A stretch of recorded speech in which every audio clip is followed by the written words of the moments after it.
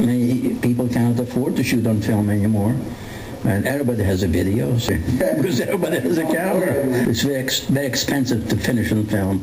They finish it on f- video, but using the film technique. Uh, that's sort of a classical approach. Commercial pornography because everybody has a camera.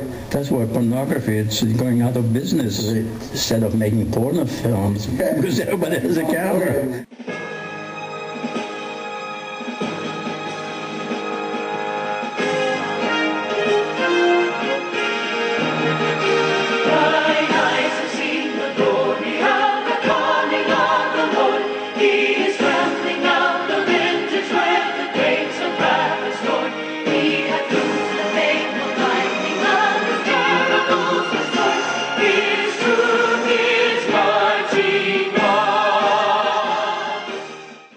because everybody has a camera.